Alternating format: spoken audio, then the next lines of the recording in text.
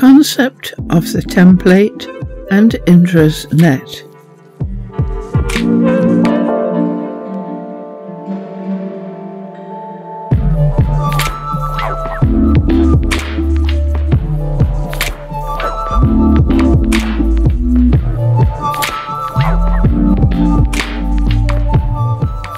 aggregates and the bill of materials. We have provided three videos that explore the concept of the aggregate, the concept of aggregation, the conscious aggregate, and the types of aggregation. But an aggregate is a bill of materials, an inventory of the raw materials, assemblies, sub-assemblies, parts and components, as well as the quantities of each needed to manufacture a product. But a bill of materials alone is insufficient to create a three-dimensional structure. It may be the complete list of all the items that are required to build a product,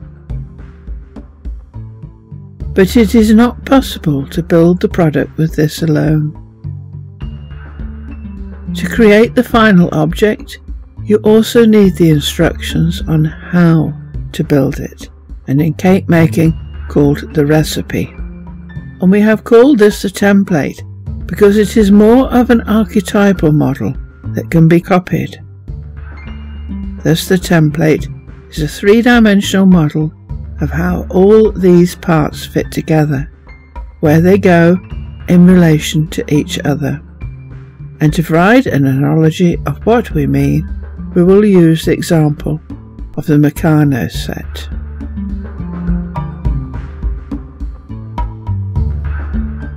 The Meccano analogy.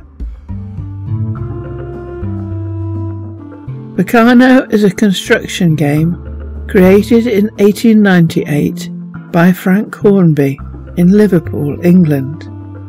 Hornby was responsible for the invention and production of three of the most popular lines of toys based on engineering principles in the 20th century Meccano, Hornby model railways, and Dinky toys. The Meccano system consists of reusable metal strips, plates, angle girders, wheels, axles and gears, and plastic parts that are connected using nuts and bolts. It enables the building of working models and mechanical devices. In 1913 a very similar construction set was introduced in the United States under the brand name Erector and in 1990 Meccano bought the Erector brand and unified its presence on all continents. Every Meccano set was supplied with a leaflet describing all the parts in the set and their number, strips, plates, nuts, bolts, winches, wires, wheels, and even motors in the set, an instruction leaflet describing how all these were used in order to construct some model or mechanical devices. The instruction leaflet was essential as without it one had no idea how all these parts fitted together to make the model illustrated. And nature has the same thing, a set of invisible instructions that show how a finished aggregate must appear. This template is used when the aggregate is being constructed. So for example, when a fetus becomes a baby and then grows to become an adult and it is used in repairing, healing the aggregate, and this should be evident to anyone who has watched a wound heal. Healing is a process that follows very definite steps, depending where the wound is. There also seems to be some evidence that there is a template that is used in destroying the aggregate, what we call death.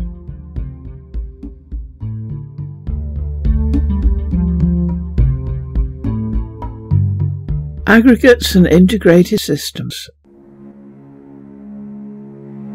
If we use the human body as an example, it should be clear that all the organs and parts are joined together into one integrated system. Despite the fact that medicine has divided our body into specialities, what happens in one area of the body affects every other part. Remove an organ and you can upset the entire functioning of other organs.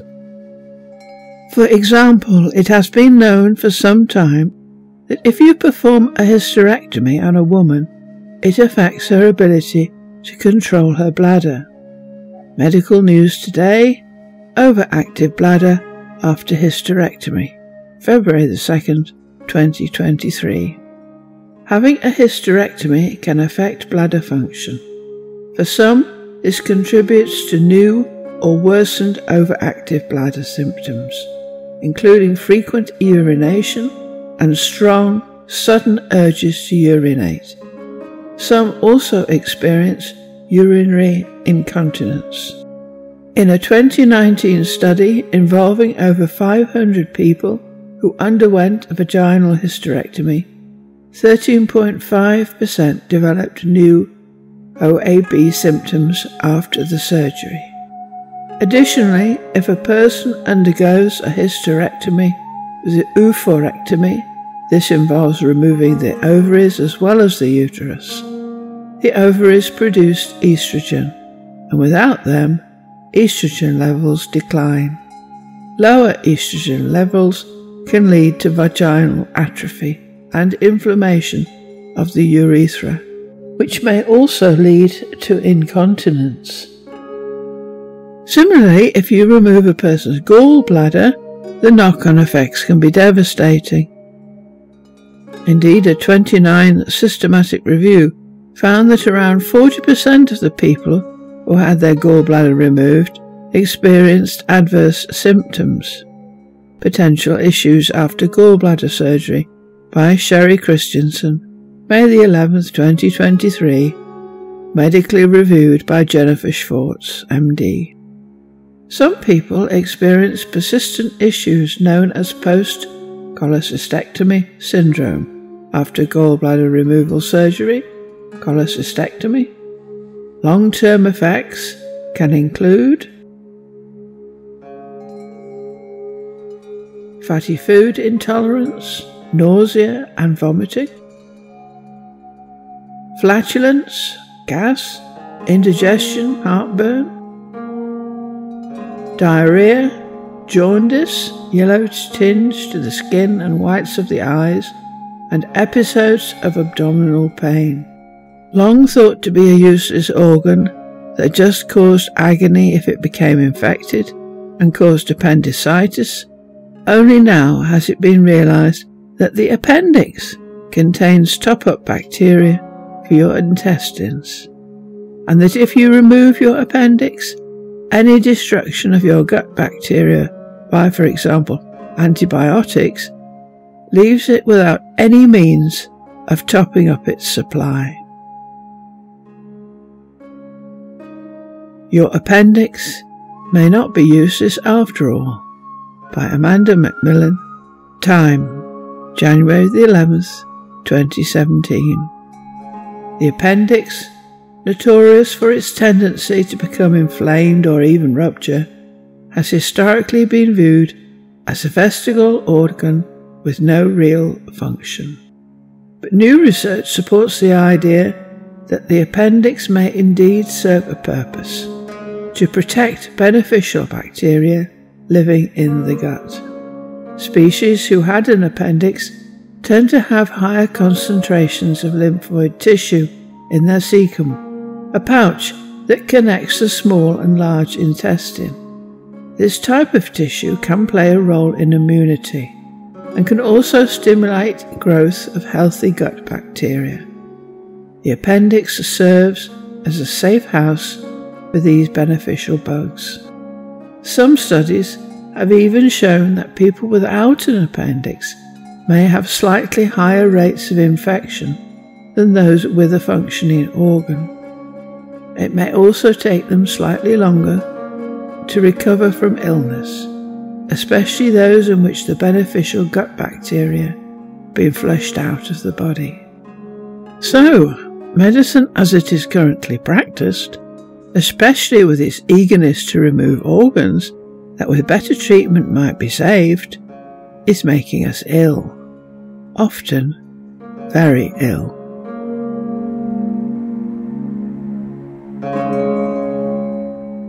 Phantom limbs.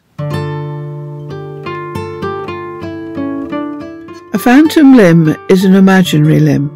The patient experiences the sensation of having a limb, painful or otherwise, even though the limb does not exist.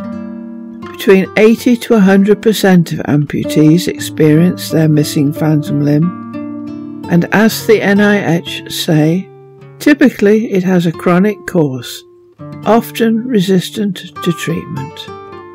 How Phantom Limbs Explain Consciousness by Michael Graziano. The Atlantic. During his disastrous naval assault on the city of Santa Cruz de Tenerife, Lord Nelson was shot in the arm. He had to have part of it amputated. This being 1797, the amputation was done by knife without anaesthetic.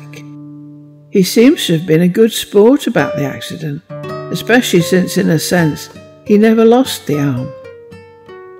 For the rest of his life, he could sense it, as though the appendage were extending invisibly from the stump. He supposedly claimed that he now knew there had to be an afterlife, because if his arm could have a ghost, then so could he. In other words, this template of a limb can be experienced even when the limb no longer exists.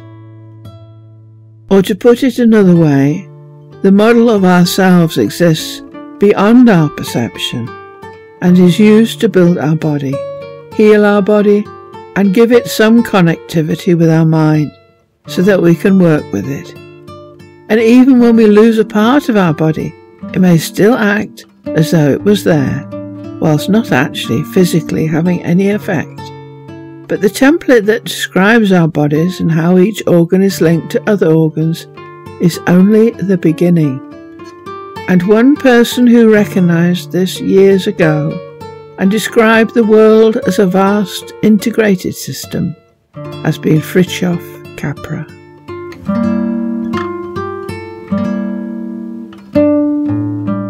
Fritjof Capra Fritjof Capra many years ago realized that we do not understand just how integrated the systems of the universe are. Fritjof Capra, the system's view of life, a unifying vision. There are solutions to the major problems of our time, some of them even simple, but they require a radical shift in our perceptions, our thinking, our values. And indeed, we are now at the beginning of a fundamental change of worldview in science and society, a change of paradigms as radical as the Copernican revolution. And that change requires us to recognize the integrated nature of all systems, all the things on earth that when an animal defecates, for example, he is providing nutrients for plants. As such, plants and animals are part of an interdependent system. Our poo is their food. Fritjof Capra. The Tao of Physics, an exploration of the parallels between modern physics and Eastern mysticism. Quantum theory reveals a basic oneness of the universe. It shows that we cannot decompose the world into independently existing smallest units. As we penetrate into matter, nature does not show us any isolated building blocks, but rather appears as a complicated web of relations between the various parts of the whole. And that web is invisible to us. But long, long ago, this complicated web of interdependent parts was recognized in the Far East and given the name of Indra's net.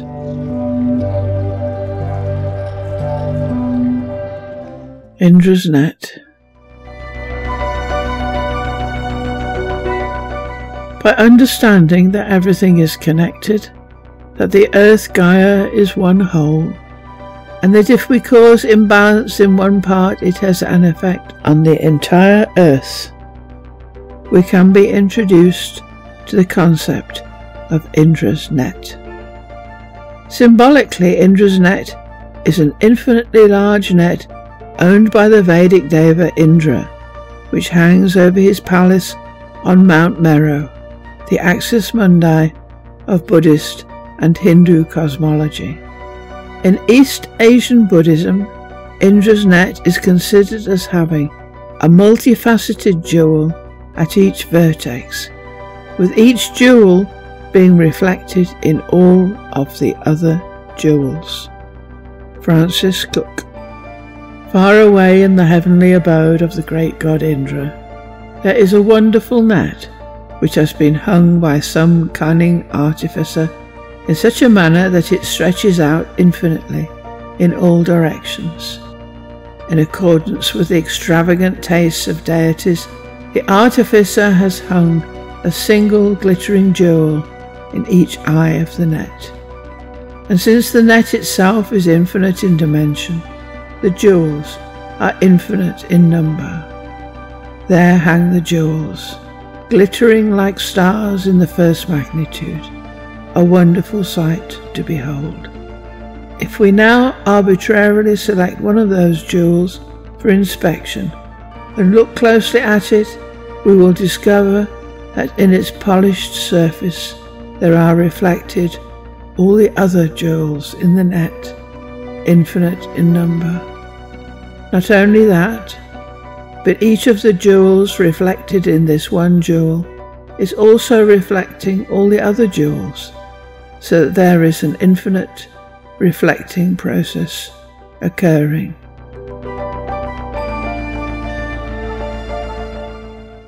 In Huayan texts, in the Huayan school of Chinese Buddhism, which follows the Buddhavatamsaka Sutra, the image of Indra's net is used to describe the interconnectedness or perfect interfusion of all phenomena in the universe. In other words, Indra's net is adopted as a metaphor for the manner in which each thing that exists is dependent for both its existence and its identity upon every other thing that exists. Each and every jewel simultaneously and immediately reflects each and every other jewel ad infinitum. The image of each of these limitless jewels is within one jewel, appearing brilliantly. None of the other jewels interfere with this. When one sits within one jewel, one is simultaneously sitting in all the infinite jewels. The net was one of the weapons of the sky god Indra, used to snare and entangle enemies. According to Teun Goudriaan, Indra is conceived as a great magician, tricking his enemies with their own weapons, thereby continuing human life and prosperity on earth.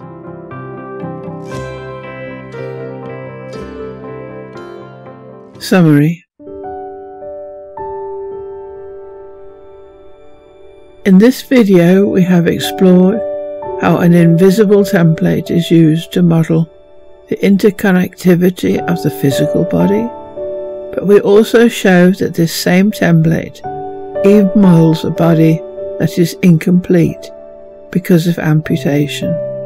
We then extended the idea further using the theories of Fritjof Capra who pointed out that the human body can no more be isolated from its surroundings than a plant.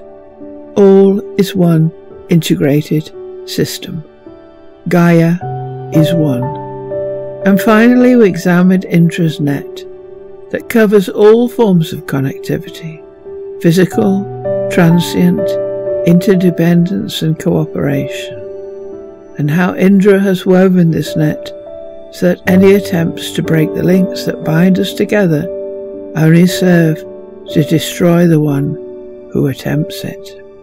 Fritjof Capra The Tao of Physics An exploration of the parallels between modern physics and Eastern mysticism. As long as we confuse the myriad forms with reality, without perceiving the unity of Brahman underlying all these forms, we are under the spell of Maya.